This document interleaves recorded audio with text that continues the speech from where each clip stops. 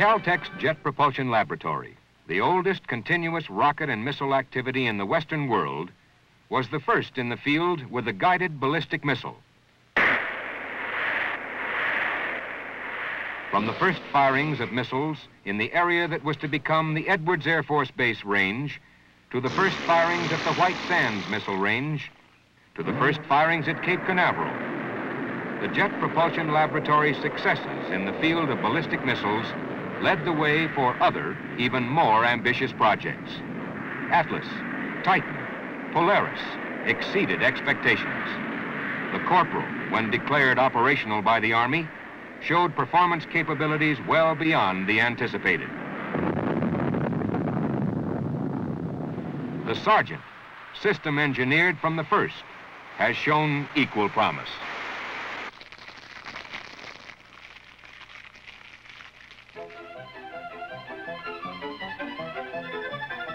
Because it is system engineered, the Sergeant is simple to operate and maintain. A small crew with average skills can fire it. The Sergeant is rugged. It need not be coddled.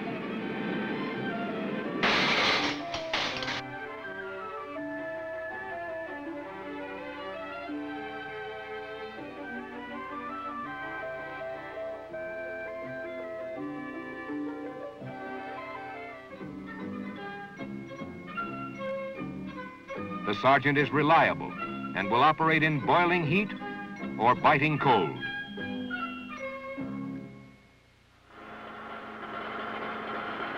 All sergeant vehicles are air transportable and can roll anywhere.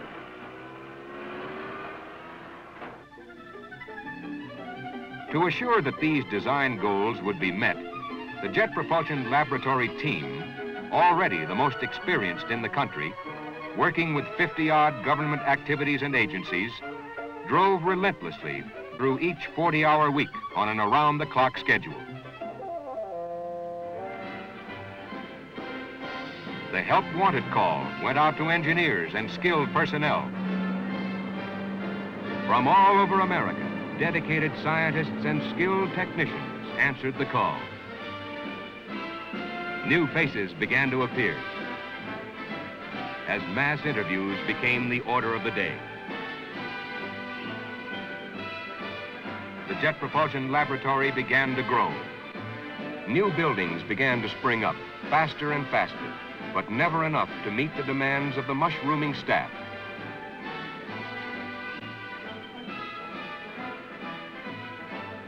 The team's closely coordinated efforts soon bore fruit.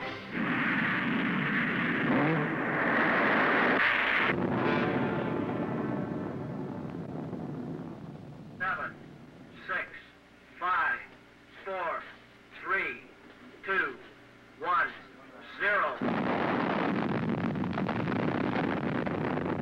Each firing was more successful than the one preceding.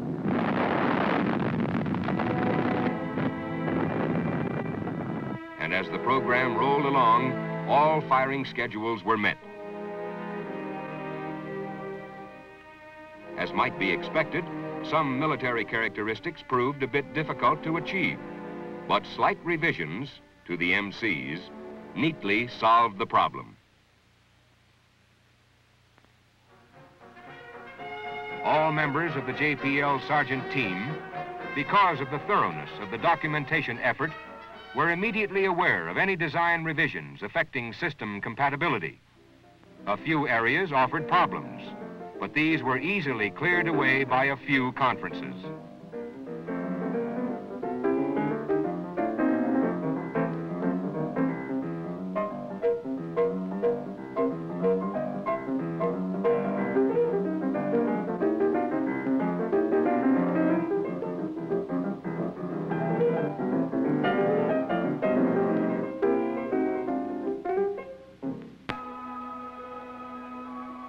A co-contractor was selected by carefully screening the country's industrial giants.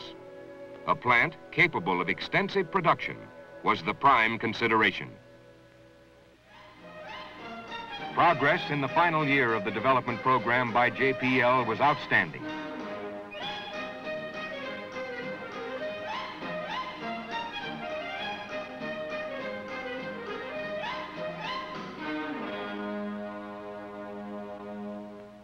Final planning, phasing in the production models, rescheduling round 30, injecting some last-minute changes to the system by Army request, and environmental testing rounded out the development schedule. Major features of the Sergeant System integration concept were considered by the Army throughout the life of the program. The modular assembly replacement scheme, workable and thoroughly integrated, would certainly be used.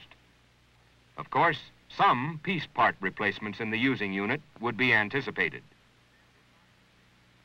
Standard Army vehicles would be used to transport missile sections in a move wisely considered by the experienced officers in Washington.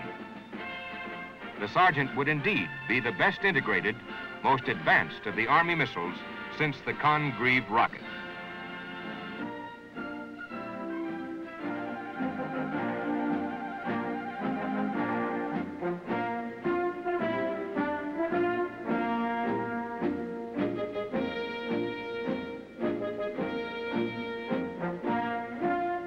Proof of the system's usability in the final analysis is a series of successful operational firings by the military. We can say that the sergeant is a success. From speedy field operations that rolled under the watchful eyes of JPL tech reps, to static firings, and through flight tests, the sergeant has delivered the goods. Dr. Pickering, director of the Jet Propulsion Laboratory, recently addressed a meeting of sergeant engineers. This work is required in preparation for the time when man himself will be engaged in the supreme adventure of exploring the moon, planets, and eventually even outer space itself.